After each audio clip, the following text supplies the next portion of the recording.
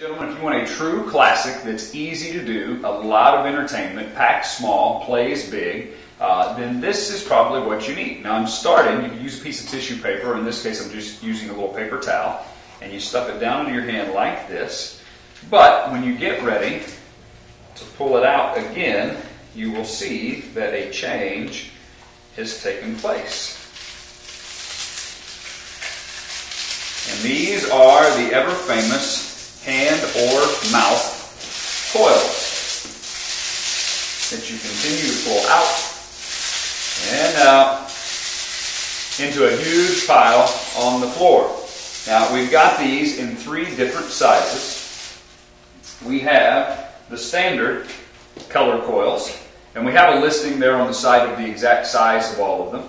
If you need something a little bit smaller, we have the Color Coils Junior. And if you want some great big ones, then we have Color Coils Senior.